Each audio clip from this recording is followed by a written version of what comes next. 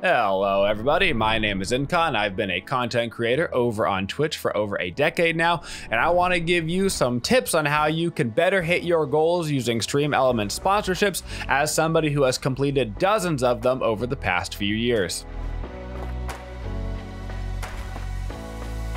Utilizing Stream Elements sponsorships is a great way to add some extra revenue to your stream. It's important as a content creator to have your hand in as many pots as possible to make sure you have as many revenue streams coming your way so that way you can go from streaming being a hobby to a full-time job.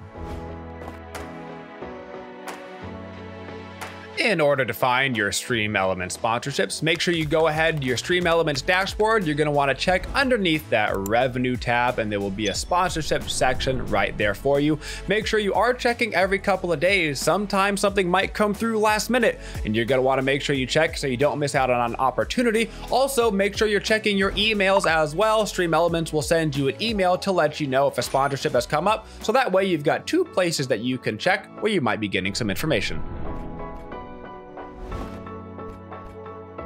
Tip number one is to have incentives for reaching goals. Hypothetically, let's say you've got a goal for 10 downloads, 25 downloads in 50 downloads of a game.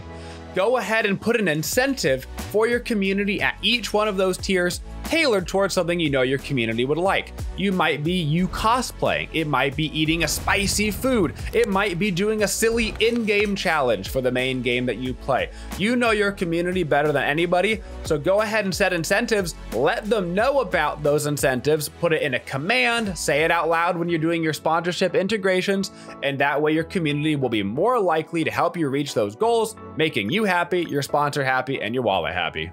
Tip number two is going to be be prepared. This one might seem obvious, but you'd be a little bit surprised. Sometimes a sponsor will have a specific verbiage that they want you to use or a couple of key points they want you to hit a couple of times.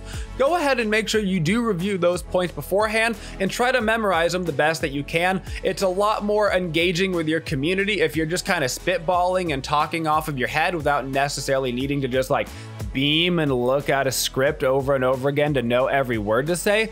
If you can start to get it out authentically, if you can start to vibe off of it, you say their thing and then you kind of segue into something that's all your own, your community is going to engage a lot more with that if they don't, don't just think you're like, I'm going to read off script now.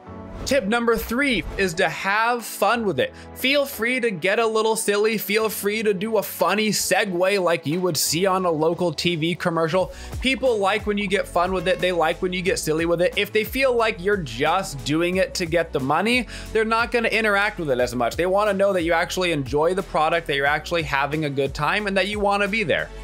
Tip number four is knowing exactly when to integrate that sponsorship to your community during your stream. You're gonna wanna look at your analytics for this and look when your peak viewership is. That is when you're gonna wanna switch over and do your sponsored content. The more people that you have watching, the better chance that people are gonna click on that link, help you out through a download, through a purchase, whatever it may be. You don't wanna do a sponsored segment right when your stream goes live, and you typically don't wanna do it right before you're gonna have to leave. Chances are somewhere in the middle is where you're gonna find that sweet spot, but every content creator is gonna be a little different, so check your analytics to see when that peak viewership is, and that's your sweet spot.